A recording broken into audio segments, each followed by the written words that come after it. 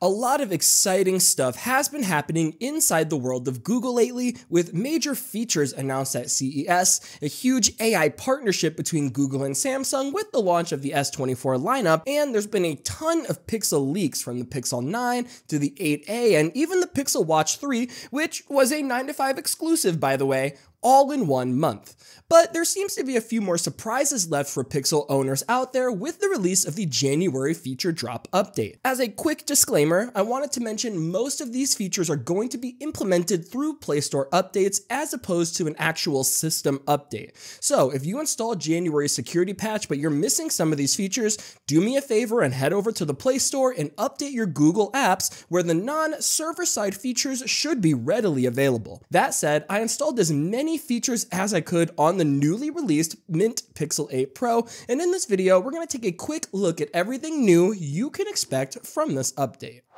First things first, yes, we do have the Mint Pixel 8 Pro in the studio. Since it's not a feature, I won't spend too much time on it, but I did want to cover it real quick for those who are interested. Google sent us this elegant custom package with some extras like a little notebook and a color matching charging brick. As a self-proclaimed smartphone collector, if you will, it was pretty fun to get an unboxing experience like this, and I just wanted to include it for the smartphone enthusiasts out there. Either way, this device itself has a pretty subtle shade of mint mint almost to the point where it could be mistaken for a pure white color depending on the lighting. Compared to some mint colors we've seen from Google in the past, like the Mint Pixel 8 Pro case, the Seafoam Green Pixel 7a case, or the color accent on the Pixel 6a, this is most certainly the lightest of them all. As you can see, the mint color is most noticeable on the frosted glass, with the polished aluminum frame also getting a slight tint in addition to the antenna bands. Overall, I'm a huge fan of these unique color options, and if you know know me that I'm always advocating for interesting smartphone designs, and while I think they could have went a bit bolder with the shade of mint,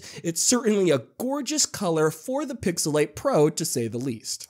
Moving on, let's talk about the main focus of this video, which is the new software included in the January feature drop. This time around, we have two major features with a handful of smaller ones in the mix. Unfortunately, most of these are available to the Pixel 8 and 8 Pro, like Circle to Search, for example, where you can search for anything on your screen right inside the application by either circling, scribbling, or simply tapping on a subject. Even though it's included in the marketing material for the January feature drop, it won't be live server side until January 31st, so if it's not working yet, just be patient as it should be activated in a few days. The second major feature is the ability to finally use your Pixel 8 Pro's thermometer sensor to measure body temperature. FDA approval for this was granted in mid December, and in practice, the feature seems to be simple to use as a solo user or on friends or family members, considering most people will always have their smartphone around. When you first start it up, you should see a built-in tutorial, which is helpful, but all you really have to do is bring the temperature sensor to the center of your forehead and slowly rotate to the temple. During this time, you're getting voice and vibration feedback, and in reality, the whole process takes less than 5 seconds. After that, you can access your readings inside the application itself or the Fitbit app. Obviously, I'm not in the position to give a medical perspective on this, but I would say if you are testing this out, have an actual thermometer to the side until you get a good gauge for the accuracy. There are a few interesting caveats with this feature though. First, it's only available in the United States, which I know is going to frustrate a lot of users out there, but on top of that, you need to have an active US SIM or eSIM in order to use the function at all. This kind of put me in an interesting place because I'm testing a ton of devices at the moment, so in order to record this video, I had to put my SIM in the Pixel 8 Pro, and once I did, the option immediately appeared. So do with that information what you will, but I had to at least let you guys know about it.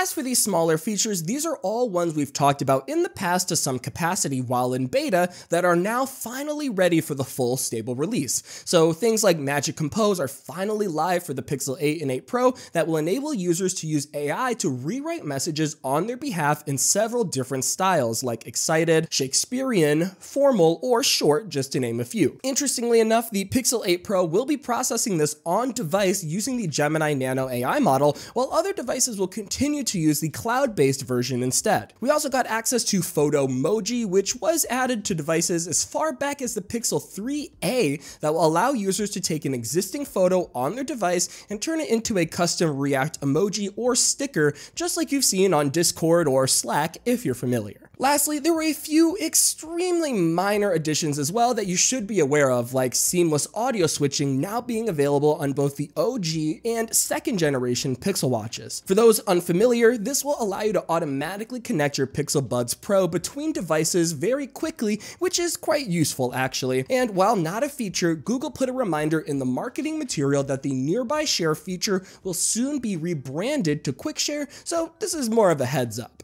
And guys, that's everything new with the January 2024 feature drop. If you're a Pixel 8 user, then you've had a great update this month and I'm very happy for you. If you're like me and you main a Pixel Fold or an older Pixel device, you might be a little salty, which I understand. It pains me not to have Circle to Search on the Pixel Fold, so all I can say is I hope we get it very soon or else I'll have to find a way to sideload it somehow, so I hope I don't have to go down that route. But either way, guys, leave me a comment and let me know what you think of the January 2024 feature drop. We do have another one coming in March, I believe, so maybe, just maybe, there is hope for some of the older Pixel users out there. In the meantime, guys, I'm getting out of here to get some fresh, high quality footage of the new Mint Pixel 8 Pro. This has been Jordan Floyd with 9 to 5 Google. Thank you guys so much for watching, and I'll see you in the next one.